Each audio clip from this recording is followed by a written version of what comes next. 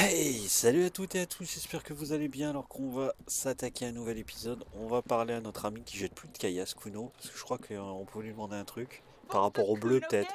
Kuno s'en bat les couilles, le garçon se retourne vers vous, il s'en bat vraiment. Voilà, parler... Euh... Où est le reste de son armure? Ah oui, c'était pour l'armure. Mais qu'est-ce que Kuno s'en branle de l'armure? Comment ça se fait? Le Maccabée de Kuno a un problème gros comme une maison, c'est un putain de mutant. Un mutant. Regarde-le, on dirait qu'il est gavé aux hormones de croissance, c'est un géant, l'armure est bien trop grande pour n'importe quel homme. Il tourne les index au niveau de ses tempes, a un geste étrange et agressif. Kuno s'en branle dans cette armure pourrie que Kuno l'a balancée. Ah mais c'est quand même lui qui l'a balancé On la fait pas, moi il fait semblant de s'en branler car il est trop euh, petit pour l'armure. Comment ça tu l'as jeté? Kuno a essayé le casque, il était trop grand. Il donne un coup de pied à un casque imaginaire. Kuno a fait vandaguer ce truc pourri dans la mer en mode rugbyman. Ce truc est insignifiant pour Kuno. Tu l'as jeté dans la mer? Ouais, ce truc est insignifiant pour Kuno, répète-t-il. Kuno s'en branle comme de l'an 40 de ce matos. Kuno est un putain de moine. Tu veux aller emmerder quelqu'un avec cette histoire d'armure? Va faire chier le connard moustachu du syndicat, le joyeux troubadour aux portes. Troubadour, de qui tu parles Tu te mets beauté. Tu connais cet encleur de vache du syndicat Il est venu nous parler de vaches ou d'un truc du genre. Il prétendait qu'il aimait bien les vaches. Donc ouais, c'est à lui qu'il faut que tu parles. Il est complètement dingue de cette armure. Il vient ici, il prétend qu'il aime les vaches. Tout ça pour espionner Kuno et son armure. Va aux portes et pose-lui les questions toi-même. Donc on cherche un mec euh, moustachu. Oui, ce troubadour est en possession de l'armure, tu le sens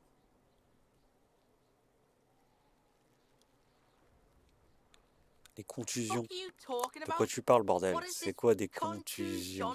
Il s'agrippe soudain la tête comme s'il était pris d'une violente douleur au crâne. Il est en train de dire que t'es stupide, Kuno. Ils veulent que tu redeviennes stupide. Contusion est un bleu. Je suis en train de parler des marques que euh, tes cailloux ont laissées sur le cadavre. Oh, Oh, Kuno a rendu ton travail de remueur de merde plus difficile. Il a fait obstruction au remuage de merde. Il lâche sa tête soudainement soulagé. C'est le royaume de Kuno. Kuno règne en maître ici. Hmm, tu entends le lieutenant murmurer. Il pense que l'enfant connaît plutôt bien le vocabulaire des forces de l'ordre, mais il ne va pas s'en mêler. Moi et mon collègue, on se demandait où tu as bien pu apprendre tous ces termes policiers. Moi et mon collègue, on se demandait le sifflement démoniaque derrière la clôture gagne en volume. Est-ce que vous fumez de l'herbe? Kono éclate de rire car en vous montrant du doigt, puis Kim, puis vous.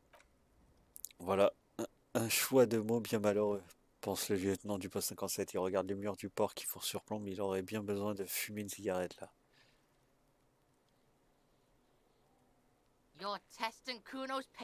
En train de mettre à rude épreuve la patience de Kuno.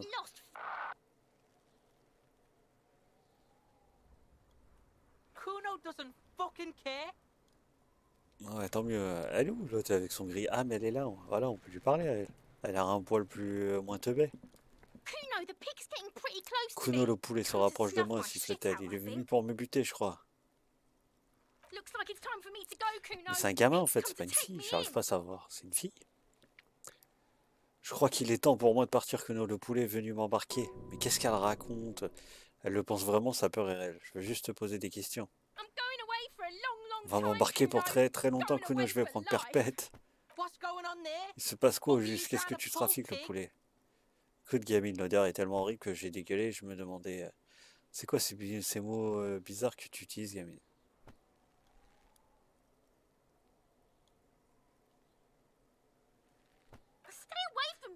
T'approches pas de moi, le poulet. Crois-moi, je te conseille d'arrêter si tu veux pas savoir ce qui se passe quand on m'accule. Putain, mais elle est relou, elle, sert à rien, elle se sent agressée. Bon, attends, notebook. Euh, Qu'est-ce qu'on a? Chercher votre arme, ok. Payer les dégâts, ok. Qui a appelé, ok. Euh, qui est dans le box du syndicat? Ok. Ah, ils avaient dit à 16h, non, c'est pas ça, faudrait voir. Le reste de l'armure Allez au port du port et interroger le, le mesque jovial au sujet de l'armure, les tatouages, Demandez aux gens la possification des tatouages, décrocher le cadavre. Accéder au port et demander l'aide, ok. D'Evrard Claire. Je sais pas, Evrard Claire. Qui est-ce?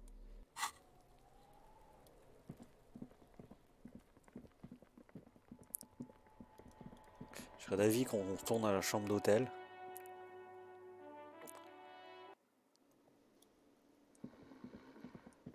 Peut-être voir, on va essayer d'interroger euh, rapidement euh, quelques euh, consanguins du coin. Non, non, c'est là, ma chambre. Peut-être qu'on pourrait voir quelque chose que j'ai pas vu. Qui essaie d'ignorer la, porte brisée de votre salle de bain? Qui essaie également de ne pas regarder la pile de bandes qui gît sur le tapis ou la mallette bizarre sur le porte-manteau ou la plante desséchée dans le coin, mais tout est bien trop morbide pour qu'il l'ignore. Je suis vraiment désolé pour ce spectacle. Aucun problème, monsieur l'agent. Il fait mine de se diriger vers la porte comme s'il avait envie de partir. Euh... On va voir si je retrouve mon... Le ligne froid est pas particulièrement euh, accueillant, mais c'est le vote. Les draps font peur. Chaque nuit, vous pouvez aller dormir après 21h. Ok. Attends, il a parlé d'un truc, non?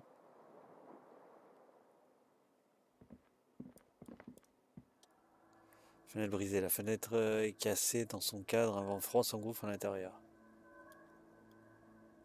Évaluer les dégâts. Les tessons sont tournés vers l'extérieur, ce qui a brisé cette fenêtre venait de l'intérieur. L'ai-je brisé de mes propres mains? Un fin réseau de cicatrices couvre le dos de ta main droite, mais aucune n'est récente. Qu'est-ce qui a fait ça alors? Causé plus vraisemblablement par un projectile que par un objet tenu en main. Il n'y a pas de fragment sur le sol qui indique que l'on a retiré un objet après l'impact. Estimer la taille de l'impact. C'est trop gros pour être une balle, mais aussi trop petit pour être un morceau de meuble. Tu cherches quelque chose de lourd et de plus grand que ton poing. Ça peut être le flingue La chaussure que tu as trouvée sur... Ah, sur le balcon correspond presque aussi bien à la taille du trou qu'à celle de ton pied. Elle aurait également été assez lourde si elle avait été lancée avec force.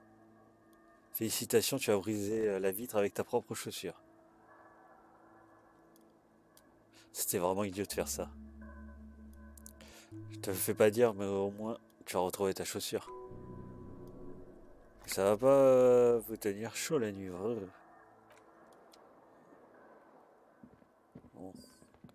Pas de flingue là, je sais pas, ils ont parlé des toilettes.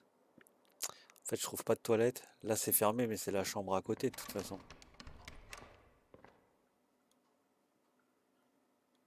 D'accord, il n'y a pas de toilette.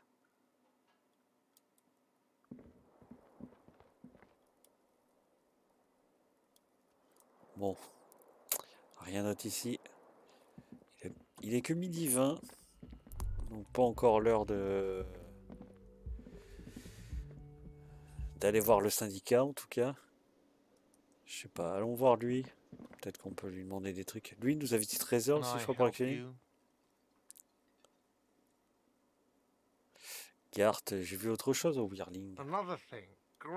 Encore une chose, super, j'adore ça. Yes. Non, donc lui, c'est rien d'autre. Ok. Ouais, là, on se le fait à la vite fait. On parle un peu à tout le monde. Hello, sweetie. Bonjour, mon bichet. La vieille femme se tourne vers vous avec un sourire aux lèvres. Attends, c'est qui bichet Est-ce que ça veut dire que vous m'aimez bien? Vous êtes très bel homme, monsieur l'agent. Votre moustache et votre mâchoire carrée vous vont ravir, tout comme cette jolie fossette au menton. Mais très cher, vous n'êtes pas fait pour moi. Elle regarde au loin, je suis bien trop vieille et en plus je suis mariée. En d'autres circonstances, elle aurait sans doute flirté avec toi, mais tout ça, euh, c'est de l'histoire ancienne. Pardonnez-moi, quelle tête de minute je fais. J'ai complètement oublié de me présenter. Se tape sur le front. Mais on lui avait pas parlé, elle Attends, je comprends pas. Je m'appelle Lena, mon mari Morel et moi séjournons chez notre ami Gary, juste au bout de la rue. Je viens prendre le thé ici quand ils ne sont pas là. Ses yeux brillent au-dessus de la monture de ses lunettes tandis qu'elle vous regarde en souriant. Cette Lena est suffisamment farfelue pour faire partie de l'équipe. Engage-la tout de suite. Vous êtes en fauteuil roulant, ça vous dirait de m'accompagner. Je ne sais pas si vous l'avez remarqué, mais je ne sais pas où je suis ni ce que je fais. En fait, je sais rien. J'ai besoin d'argent, vous pourriez m'en donner? Tiens, on peut tenter, elle m'aime bien. Oh, oh mon cher, son expression s'aggrave. J'ai entendu votre conversation avec le patron à propos de vos problèmes financiers. Quand recevrez-vous votre prochaine paye? Si elle en avait la possibilité, cette femme s'occuperait de toi et de toutes les personnes déprimées qui errent dans ce monde. Tu as une arme et une mâchoire carrée dissimulée quelque part sous ton visage bouffi par l'alcool, elle aimerait peut-être te sponsoriser.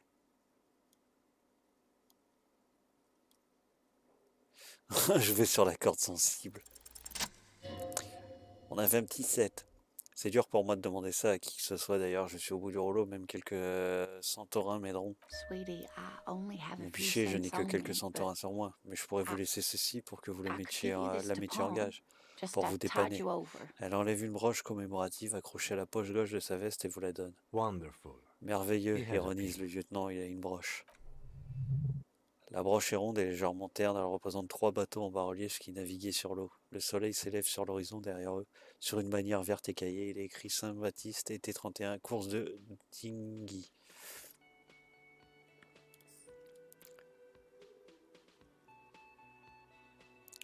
Tiens, où est-ce que je peux la mettre en gage Traversez la place et suivez la route le long de la côte. Vous trouverez une cabane nichée dans une vieille façade en pierre à côté du canal.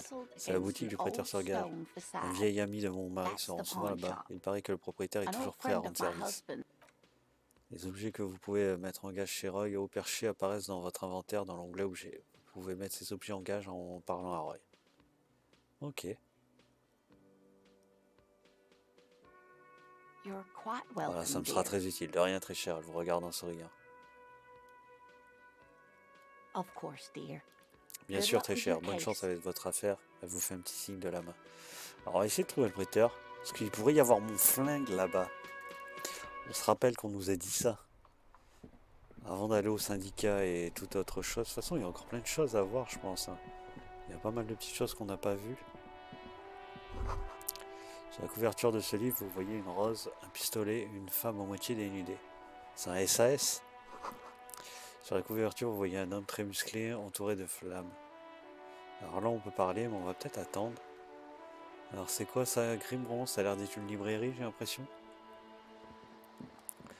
C'est vrai qu'on a très peu euh, fouillé en fait. Alors ce qu'on peut trouver rapidement comme ça. Juste voir un peu rapidement. Peut-être qu'on a été dehors. Hein.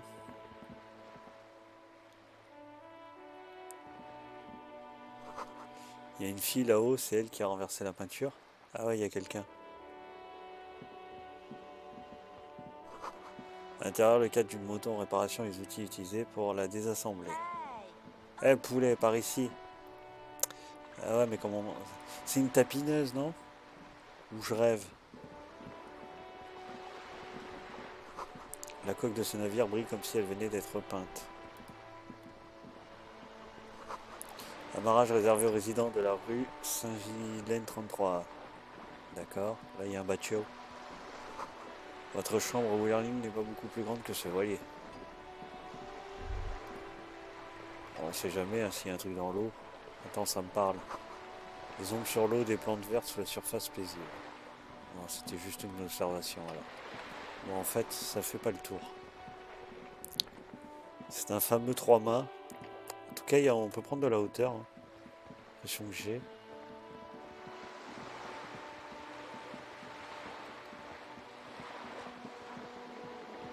Allez, papy, cours. Ah, si ça, ça le fait pas dégueuler. Attends, qu'est-ce qu'on a d'autre? C'est quoi ça? Sac plastique John Fried. Ah, on peut peut-être, euh, comme il a dit, récupérer les bouteilles là. J'en sais rien, moi, euh, picoler. Ah, il y a des gens là aussi. Mais on dirait le mec qui va nous sauter dessus.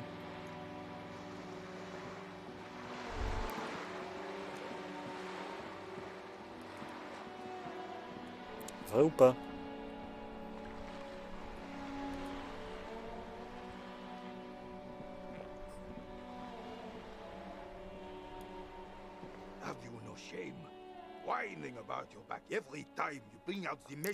Renard-nous, tu manques pas de toupet, dit l'homme à son partenaire. Te plaindre de ton dos chaque fois que tu sors le maître. Ah non, c'est il a un problème de dos. Moi, je pensais qu'il était en plan couze là, après sauter sur les gens. René, René, t'as fait ton temps. Par pitié, concentrons-nous sur le jeu, d'accord? L'autre est en train d'engloutir un énorme sandwich. J'essaie, mais t'arrêtes pas de me déconcentrer. T'es vieux, je vois bien. On est vieux tous les deux, alors arrête de t'agripper le cul comme si c'était celui d'une nana. Ces types virils sont en train de jouer aux boules. C'est un jeu de boules, attrape-en une et joue. Ne pose pas de questions, tire d'abord, puis ferme-la. On fout la merde. J'en attendais euh, pas moins de toi, ne perds pas ton temps à poser des questions sur le jeu, de toute façon ils n'en sauraient rien, ils ne sont plus du tout dans la fleur de l'âge. Alors fait une petite démonstration pour qu'ils gueule. Petit lancer de boule. On tape le, carreau. Mais attends, c'est quoi? C'est du lancer de poids 8. Tu es aussitôt surpris par la jetée de la boule, peu importe si tu vas réussir. Bon sang, c'est bien vrai, tu sens le tremblement familier de l'excitation, de l'adrénaline qui précède la victoire, le temps est suspendu.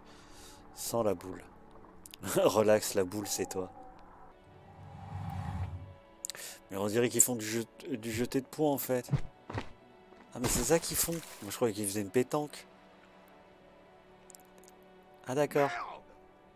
Merde, s'écrie le vieux soldat devant un tel affront. Bordel de merde C'est quoi votre putain de problème? Je savais qu'on allait avoir des problèmes avec ça. Plutôt pas mal, euh, c'est Tricep 3. Le fiche de que vous soyez flic, on ne cache pas la partie de quelqu'un, c'est respectueux, bon sang. Non mais il jouait vraiment en boule, je pense. Non? Un homme de son âge qui pète un câble de la sorte, fais gaffe à la attention papy. Je ressens de la colère et j'ignore pourquoi. Vous avez foutu euh, toute notre partie en l'air, fiston. Il essaie de se calmer. On ne joue pas à la pétanque avec 5 boules. Ah, il faisait vraiment une pétanque, donc je ne l'avais pas jeté. Euh, c'était pas lancé de poids. la pétanque. Oh, la pétanque, je comprends. Je crois que c'était du lancer de poids. Bon Dieu, c'est pas ça du tout, c'est de la pétanque, rétorque le haussant à nouveau la voix. Vous avez bousillé une partie de pétanque, nous voulons récupérer notre boule. Doucement, René, le plus guéri euh, des deux, tente d'apaiser la situation. C'est juste un malentendu. N'est-ce pas, monsieur l'agent? Il n'y a pas de mort d'homme. Bien sûr que si, il y a mort d'homme. Frappe le sol du talon de sa botte de cavalerie. Vous nous devez une, boule, une putain de boule. Écoutez-moi, monsieur, votre boule a disparu. J'ai un meurtre à résoudre, d'accord? Euh, euh, Vous montrez un bel exemple aujourd'hui, monsieur l'agent. Je m'en souviendrai, je m'en souviendrai, Gaston aussi.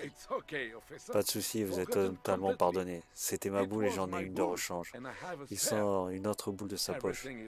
Tout va bien et nous sommes prêts à coopérer de toutes les manières possibles. Il essaie à tout prix d'éviter un conflit. Le lieutenant ne dit pas un mot, mais son visage demeure tendu. Apparemment, votre démonstration athlétique ne l'enchante guère. C'est ton droit de prendre des responsabilités que je ne cautionne pas. Parle, c'est tout, ça calmera les choses. Les vieux adorent qu'on leur prête attention. Voilà, est-ce que vous, vous, savez des trucs sur le mec pendu? Rien du tout, malheureusement. Il hausse les épaules. Contrairement aux gens du coin, je n'ai aucune réticence à aider les représentants de la loi, mais cette affaire me dépasse totalement. Et la plupart des gens du coin? La Martinez, c'est le syndicat qui fait la loi. Alors qu'est-ce qu'on peut vraiment leur Est-ce qu'on peut vraiment leur en vouloir? Mais vous n'avez aucun problème avec les flics. Flics, c'est un terme péjoratif. N'y a aucun problème avec les policiers. Au contraire, j'admire les efforts qu'ils déploient pour amener l'ordre dans nos rues. Donc encore une fois, vous ne savez rien du tout. Si je savais quelque chose, je n'aurais pas peur de vous le dire, mais je sais rien. C'est tout. Je suis un vieil homme, pas une couille molle. La j'en ai plus rien à cirer. Voilà un homme avec un passé chargé, mais un présent bien vide, et pratiquement sans aucun futur.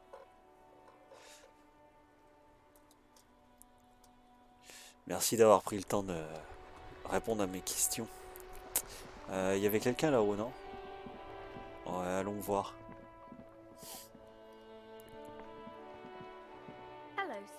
Annette. Bonjour monsieur, entrez, nous sommes ouverts. Une jeune fille aux joues bien rouges vous fait un signe de la main en souriant. Elle a également le nez rougi par le froid. Salut Seriez-vous intéressé par un nouveau livre passionnant? Elle tape du pied pour se réchauffer. Je peux te poser quelques questions Bien sûr, monsieur, j'essaierai d'y répondre au mieux. J'espère que c'est à propos des livres.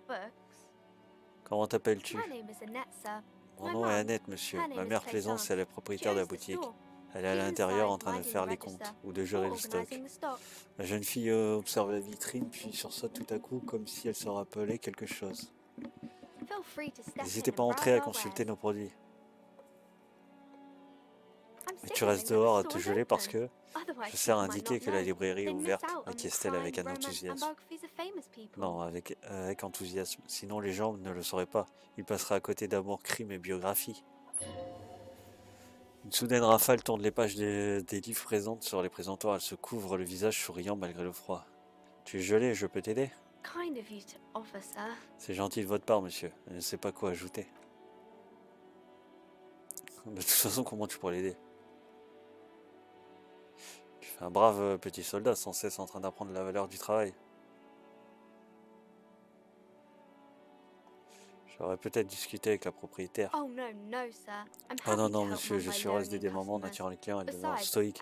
Souriant comme un brave petit soldat, en plus j'ai une boisson chaude dans mon thermos pour me chauffer.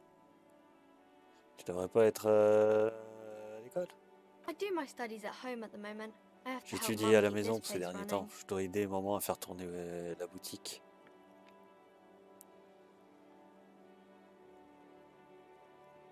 Est-ce que c'est pas plus important Maman dit qu'il est nécessaire de faire les deux, que ça forge le caractère. Elle dit qu'un travail consciencieux est un travail, est un travail bien fait. C'est ainsi qu'on avance dans la vie et que l'on réussit. Comment vont les affaires? À merveille, d'après maman. Au début, elle avait un peu peur car cette maison serait... Regarde par-dessus son épaule. Maudite. Derrière elle, la vitrine est barricadée avec des planches. Tu devines le craquement et la torsion des planches, ainsi qu'une pointe de doute sur ses épaules tendues. Maudite, comment ça? Maudite dans le sens où cet endroit n'a jamais vraiment réussi aux entreprises, monsieur. Elles ont toutes fini. Elles cherchent le mot exact. En faillite Exactement. Jusqu'à présent, ça marche plutôt bien pour nous.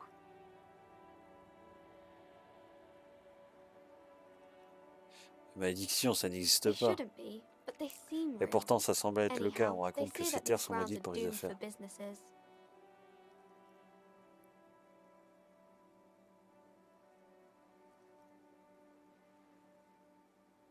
On va mettre ça, voilà, apprendre de César. Um, Bien sûr, monsieur, je ne sais pas quoi dire.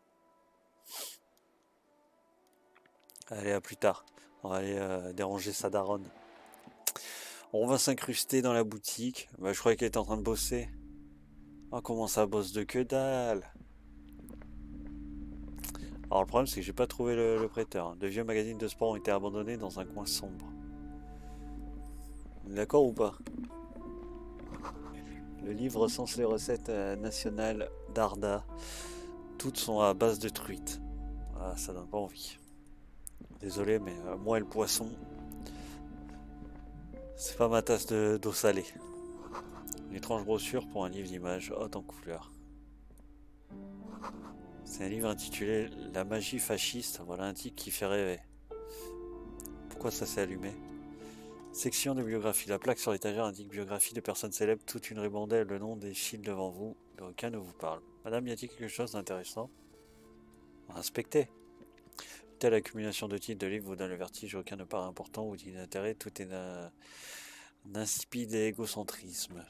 Tout à coup, un titre particulièrement étrange attire votre regard et écrire L'amour virevoltant, l'authentique tragédie romantique de Jacob Heard et Alfie de la Trace, par une certaine Cecilia Verbrook? De quoi est-ce que ça parle?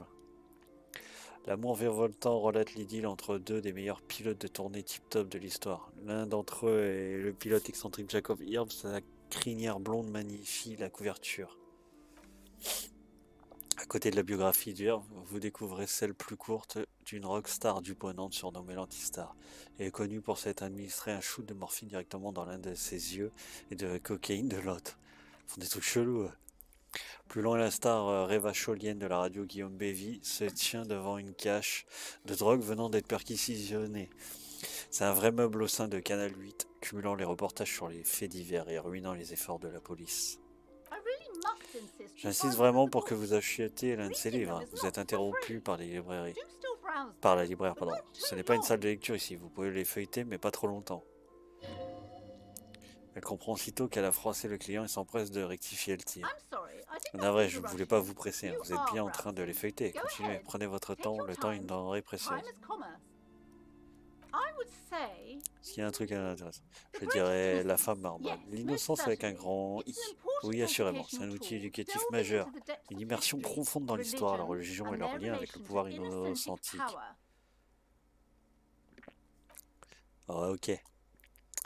Des étagères remplies, gna gna, celles quelles qu'elles soient. Je m'intéresse à ce bouquin. Putain, 4,70. Fuck.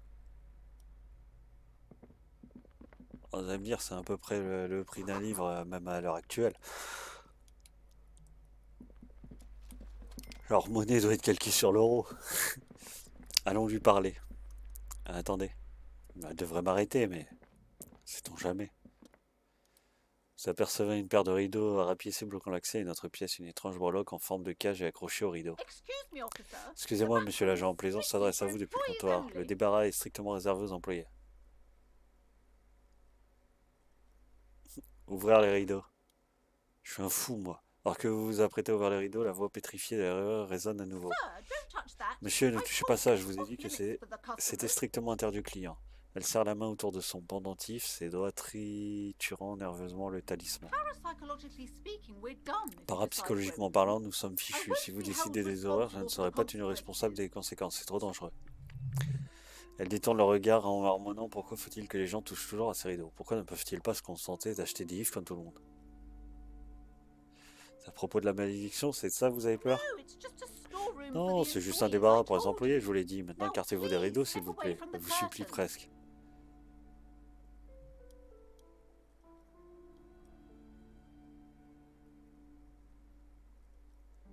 Vas-y, on les ouvre. Non, elle lève la main pour tenter de vous arrêter. Parlons un peu, monsieur l'agent. Venez et discutons un peu avant que vous décidiez de commettre l'irréparable. Mensonge, ouvre-les, on te dit. Ah bah, bah mon, ange d'épaule droit, il essaie de, de, me corrompre. Ces rideaux sont plutôt mystérieux, sois prudent. Merde, attends, je veux pas les ouvrir. Allons parler. Elle m'a proposé de parler. C'est ce que je voulais. On est venu ici pour ça. Il va être une heure. Bienvenue chez Amour Crime et Biographie. Je m'appelle Plaisance. La vendeuse vous adresse un salut amical. Soyez, soyez les bienvenus et n'oubliez pas que vous êtes responsable de l'énergie que vous apporterez dans cet endroit. Un pendentif doré brille autour du cou de la femme représentant une minuscule tête de poisson emprisonnée dans l'ombre. Avant que j'oublie, vous avez plutôt l'air de rouler sur l'or. Pourriez-vous me filer un peu d'argent? Je n'aurai sans doute pas l'occasion de vous le demander plus tard.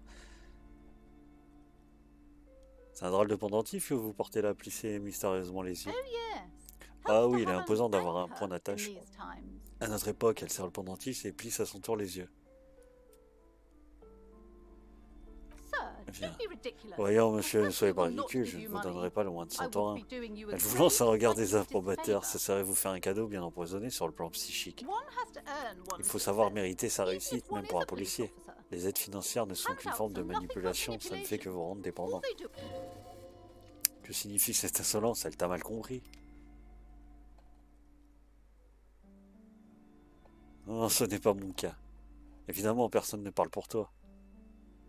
Êtes-vous la propriétaire? En effet, la fière propriétaire de ce petit œuvre de culture. Elle prend une voix aiguë, cherchant à la rendre plus pénétrante. Ouais, je sais pas faire la voix aiguë, hein, je le dis.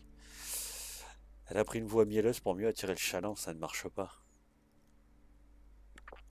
Pourquoi êtes-vous autant un cran au sujet de ces rideaux Je veux juste savoir ce qu'il y a de l'autre côté. Je vous l'ai déjà dit, c'est un débarras pour les employés. Je ne comprends pas pourquoi c'est si important pour vous. Laissez tomber, monsieur l'agent. Allez plutôt acheter un livre. Vous êtes censé être attiré vers tous ces fichus euh, bouquins.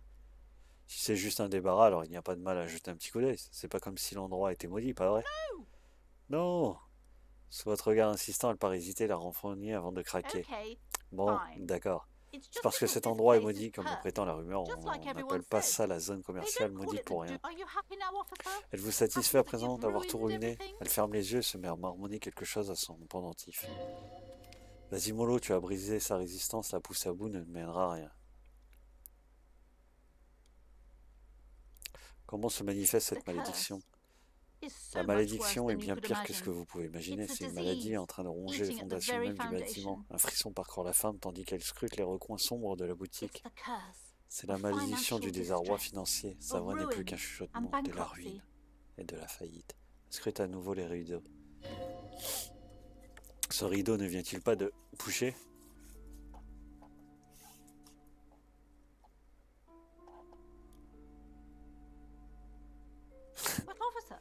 Je m'attendais à quelque chose de plus surprenant. Attendez, il n'y a rien de naturel en fait que des compagnies entières se déclarent en faillite. Je parle de ces succubes productivistes se nourrissant de mauvaises stratégies commerciales et de résultats financiers désastreux.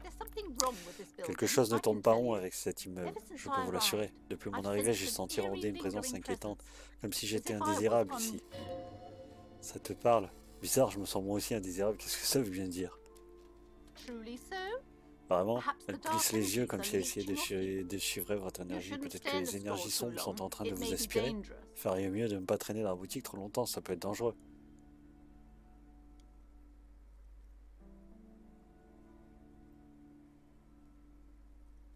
Ah, viens, on va découvrir. Certainement pas, je ne tiens pas à mêler tout ça à un novice en matière d'art psychique. Restez à distance, fichez la paix aux esprits qui puissent se replonger dans leur sommeil. À quoi on m'en essayer Les arts psychiques, c'est pile dans nos cordes.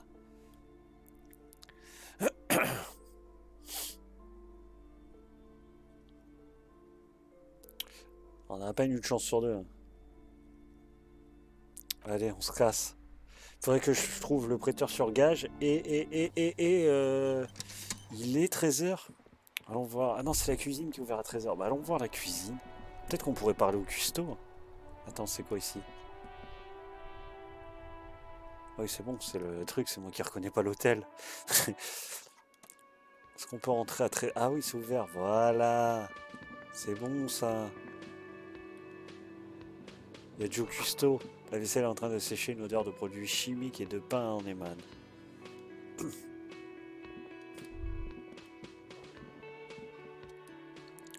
Porte bleue. Vous apercevez une lourde porte en acier munie d'une grosse serrure à cylindre. Elle est peinte en bleu.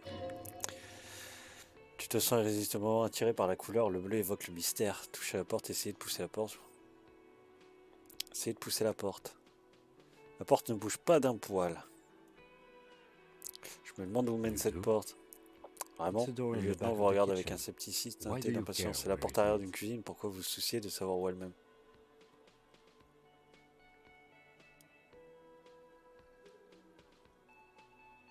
Bah hmm. ouais, pour y avoir des éléments. Hmm, je suppose que ça vaut la peine d'y jeter un œil, histoire d'en avoir le carnet, considérant cela comme une enquête secondaire. Oui, une enquête. Je vous regarde puis observe la porte, c'est à Garde que nous devrions en parler, le patron du café.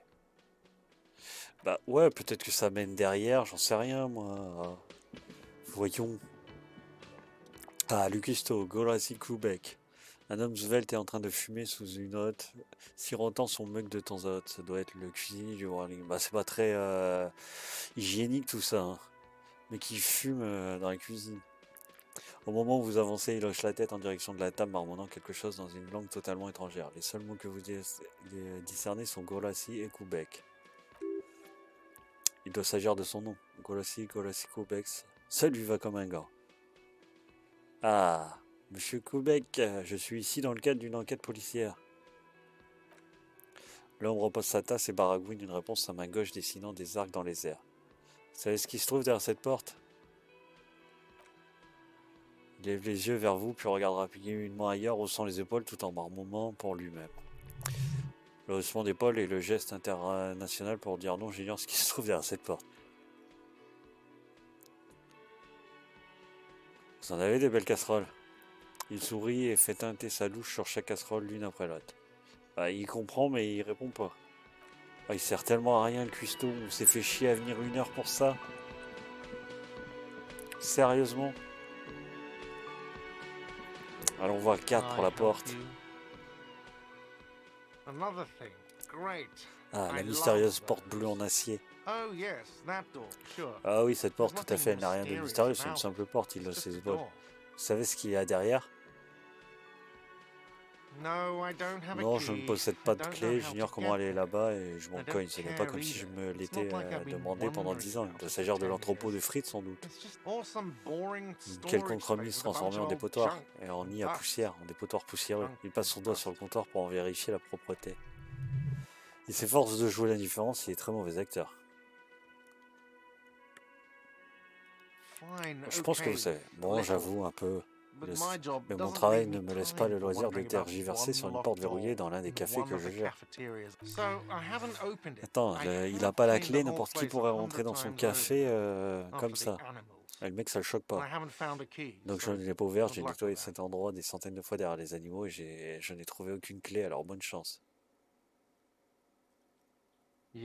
Bon, bah voilà, on n'apprendra pas plus. Hein.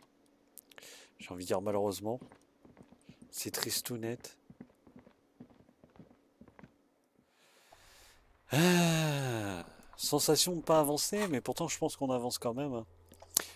Euh, qu'est-ce qu'on a exploré? Les passages secrets du Wyrling. Ah, il y a des passages secrets. Les portes du Wyrling. Ah, c'est la, porte bleue, ça pourrait être un passage secret. Comme je disais, donc j'avais raison. Peut-être. Localiser les filigranes à halogène. MCR, c'est quoi ça? Décrocher le cadavre, on sait qu'il faut aller voir Evrard Claire. Ça, on demande aux gens. Pour l'instant, j'ai pas eu de questions. Ça, il faut aller voir le mec au port, on est d'accord. Ça, bah, miracle. Hein. Euh... Ouais, ça c'est...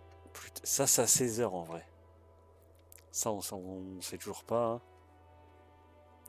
Donc on verra, payer les dégâts, bah, faut se faire de la thune. Donc, se faire de la thune, euh, il faut trouver le... Comment on appelle ça? Le prêteur sur gage je ne sais pas, est-ce qu'il y a une autre euh, issue? J'aurais pas vu. C'est quoi ça? Une remarquable force euh, tectonique qui a fissuré l'asphalte comme une vulgaire coquille d'œuf. Ah ouais, c'est vrai qu'il s'est fissuré. Ah mais attends, il y a encore un truc là, non? Ah, c'est peut-être là le prêteur. Non, je sais pas, ils ont dit de longer la côte. C'est la côte, ça. Donc c'est peut-être dans le coin, hein.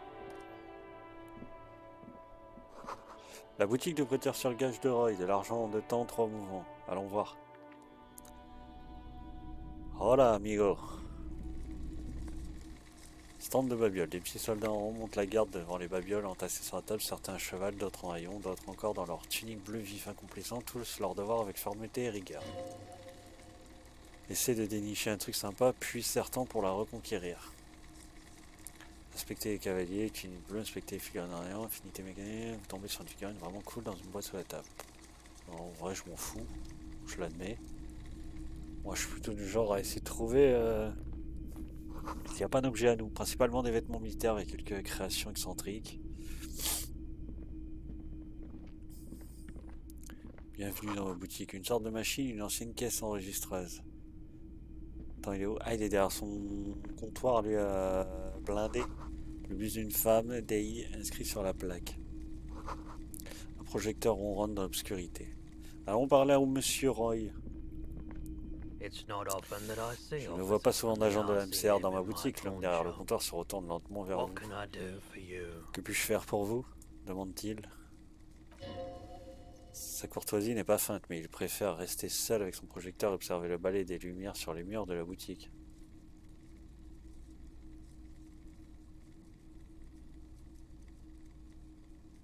Dites-moi si vous avez des Ce qui me concerne pas vraiment, mais certains de mes clients se sont plaints de dérives policières. Quelle est votre clientèle habituelle?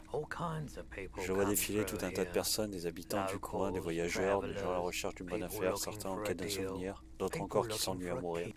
Comme vous pouvez le constater, je possède une large collection d'objets pour tous les goûts.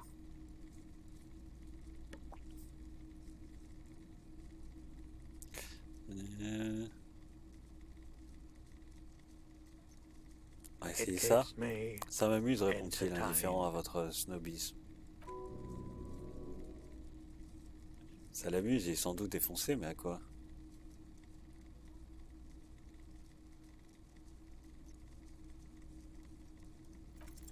Vas-y. Ou un petit 8. Une sensation de chaleur, une fascination pour les mouvements de lumière, tandis que l'esprit continue de s'emballer. Il en a de la chance, cet enfoiré. C'est sans doute euh, cramé au pyrolidone. Ce truc-là ne court pas les rues. Pyrolidone, qu'est-ce que c'est que ça? Une drogue développée par l'armée pour lutter contre les radiations, elle comporte des effets secondaires psychédéliques et elle donne les yeux jaunes. C'est moi où on crève de chaud ici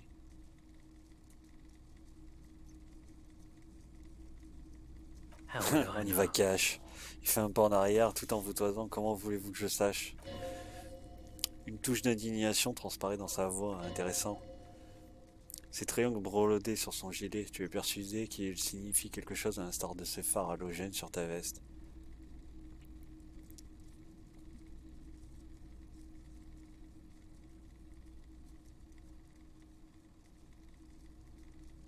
non, on va pas faire le flic cool. Fallait que j'en prenne, vous comprenez, à cause du nettoyage de la pile populaire, répondit-il prudemment. Je faisais partie de la brigade de secours d'urgence. Il continue à en prendre pour le plaisir de l'esprit et de l'essence, mais pas contre la douleur physique. La pile populaire, c'est quoi? Une idée à la noix de pauvres gauchistes avait créé un générateur à désintégration de particules dans l'espoir d'offrir une source d'électricité bon marché aux communautés sous-approvisionnées. Il y a eu un dysfonctionnement, les déchets radioactifs se sont infiltrés partout, vous en avez aussi probablement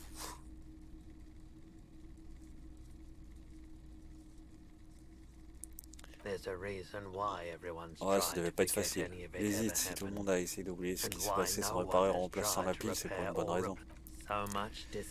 Tant de déceptions et de morts prématurées, la plupart dues au cancer, on savait très bien que ça arriverait même pendant qu'on nettoyait du mieux possible. C'est la faute à qui le générateur a cessé de fonctionner? Personne et tout le monde à la fois, soupire et secoue la tête tant d'amertume. Une bande de pauvres avait bricolé eux-mêmes un réacteur nucléaire improvisé. Plein d'espoir, vous pouvez imaginer le résultat. Comment vous êtes-vous retrouvé prêteur sur gage? Le nettoyage, c'était il y a 15 ans, j'étais jeune à l'époque quand ma deuxième tante est morte, j'ai hérité de sa baraque et de tout le foutoir qui allait avec. J'ai alors déménagé à Martinez, où on a dissuadé en me disant que c'était le trou du cul du monde. J'aurais répondu, on vient de vivre l'effondrement de la pile nucléaire. Je vais m'éloigner de Faubourg autant que possible, toujours dans la même ville, mais là, ses épaules.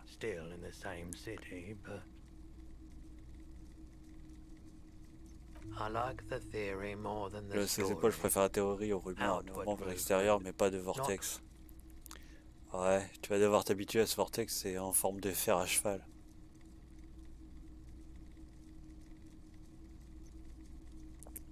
On va demander pour l'enquête. J'en doute, mais je peux toujours essayer de répondre à vos questions. Que savez-vous de la récente pandémie Je m'efforce de garder mes distances avec toute forme de massacre, c'est bon pour personne, et surtout pas pour les affaires. Personne ne veut être témoin de ce que tu vois tous les jours. Pourriez m'aider à décrocher un corps d'un arbre Le cadavre derrière l'hôtel, je présume. Il observe les lumières lancées puis se retourne vers Je n'ai rien qui s'apparente à un chariot élévateur. Demandez autour du port, vous trouverez bien des ouvriers prêts à vous filer un coup de main. Alors... Euh, ah, le flingue. Une personne est venue me poser une question tout à l'heure. Je lui ai rapidement rendu l'arme que, que vous m'aviez laissée il y a quelques jours. Ah merde Putain, c'est vraiment lui qui l'avait. Quoi? Vendu? Mais quelqu'un l'a acheté. Le lieutenant Sédantine nerveusement d'un pied sur la tête.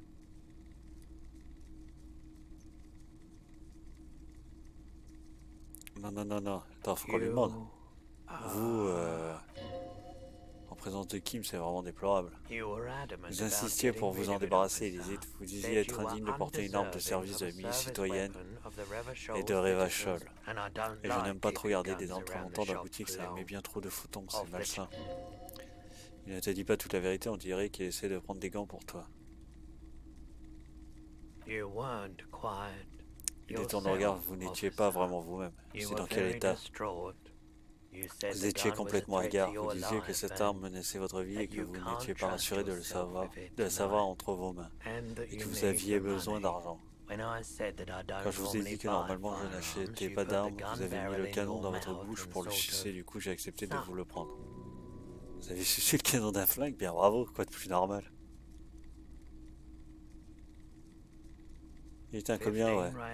15 réals Sachant que les centimes, ça doit être les trucs euh, florentins, là, ou je sais plus quoi, les. Le lieutenant pose son regard sur vous et Roy à tour de rôle. Visiblement, il espère que tout ceci ne soit comme on ferait, ce qui n'est pas le cas malheureusement. Je n'ai rien entendu de si... comment dire... Avec en plus une touche de pitié au cas où tu ne l'aurais pas remarqué. Ça arrive même au meilleur. Ah, n'en parlons plus. Pas besoin de vous excuser. C'était aussi quelqu'un de la police Elle n'avait pas l'air d'être de la police, même si elle se nommait elle-même la poularde. Ce qui était bizarre, j'ai trouvé qu'elle était un peu trop omnibulée par le flingue, mais j'étais ravi de m'en débarrasser et d'elle aussi. Je me demande si c'est pas la meuf du, du doc. À vrai dire, elle était plutôt terrifiante. Bon, si je comprends bien, dit le lieutenant en se tournant vers vous, vous avez rendu votre arme de poing fournie par la milice citoyenne et maintenant une civile se balade avec dans Martinez. Miraculeusement, son visage ne trahit pas son bouillonnement intérieur. Justicière, fan.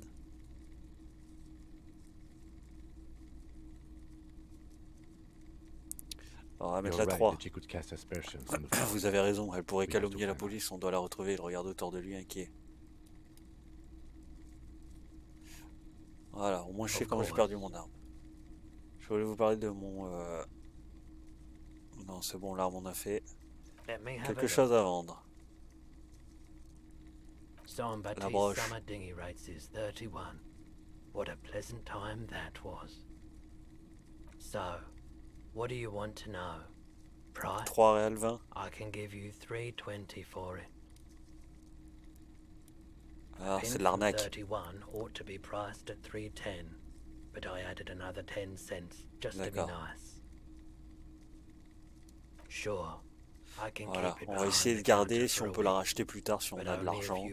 Réfléchis un instant, puis au pire. Bien sûr, je peux la garder derrière le comptoir pendant une semaine, mais uniquement si vous me payez tout de suite. Quoi? C'est lui qui me paye. Sure thing. So, je peux vendre mes fringues. Anything else you're thinking of selling?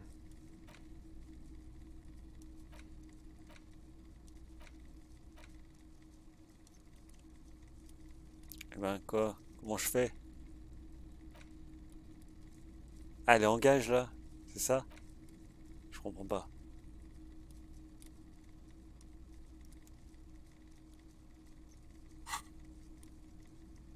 Ok. Attends, inventaire. Ah non, je l'ai encore.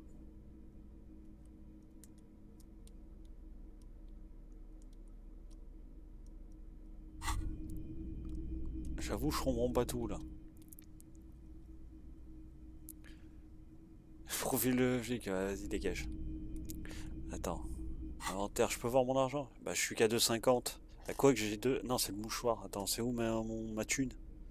C'est où ma thuna Bon bah je ne sais pas. en tout cas, il faut qu'on cherche quelqu'un pour l'arme. C'est déjà un début. Donc, euh, mesdames et mesdames, un épisode plus long, je voulais pas couper euh, de suite. Euh, voilà, 50 minutes, c'est pas mal. De toute façon, vu que le jeu peut être long, c'est fort probable qu'on retrouve plusieurs épisodes comme ça, un peu plus longs que la moyenne, que la normale, hein, comme d'habitude. On va tourner un peu moins sur du 30 minutes, parce que j'aimerais raccourcir quand même le, temps du let's play si possible, qu'on reste pas 6 mois dessus, si on peut. Hein, si on peut faire ça en 3-4 mois, ce serait pas mal, à raison de 2 épisodes par semaine euh, en moyenne. En tout cas, je vous laisse ici. N'hésitez pas à liker, commenter, vous abonner. Moi, je vous dis à très bientôt. Ciao, ciao les amis. Portez-vous bien.